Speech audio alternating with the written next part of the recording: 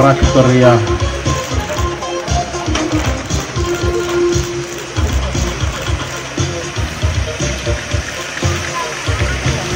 Ja tyylikkäästi, tyylikkäästi ja pitkälle jälleen. No.